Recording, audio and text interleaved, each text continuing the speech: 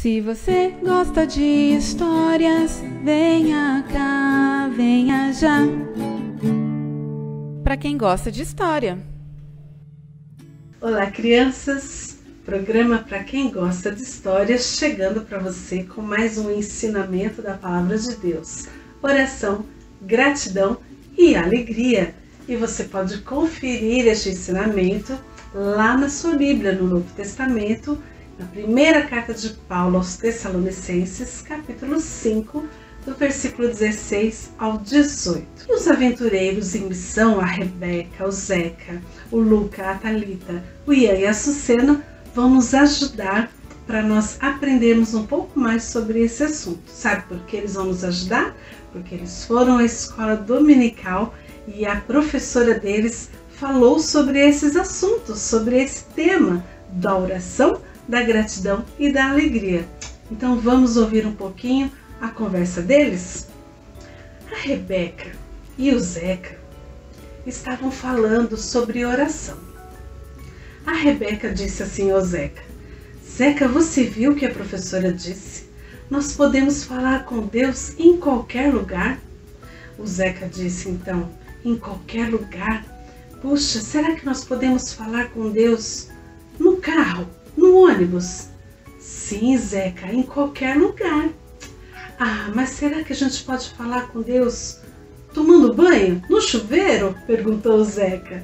Sim, Zeca, qualquer lugar é qualquer lugar. E sabe por quê? Sabe que eu entendi? Deus está sempre conosco. Então, se Ele está sempre conosco, Ele sempre vai nos ouvir. Por isso, nós podemos falar com Ele, nós podemos conversar com Ele em qualquer lugar e em todo tempo. Isso mesmo, Rebeca. A oração é a nossa conversa com Deus.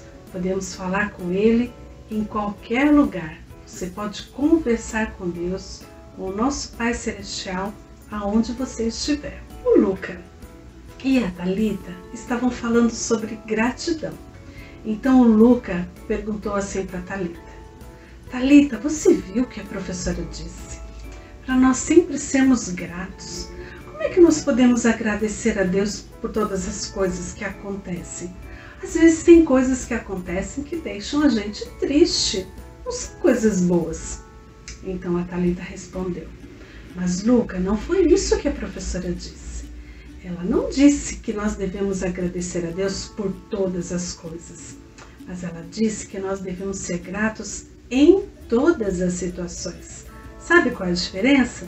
É que em qualquer situação, mesmo as mais difíceis, nós podemos reconhecer que Deus está conosco, está cuidando de nós, está nos dando amigos e amigas para nos ajudar, está com a nossa família e Ele não vai nos abandonar. Por isso a gente pode ser gratos e gratas a Ele em todo o tempo. Ah, isso mesmo, Talita. Isso é gratidão a Deus, é ser grato a Deus. Não é agradecer por qualquer coisa, mas em todas as situações reconhecemos que Deus está conosco, que Ele quer o nosso bem, quer o melhor para nós.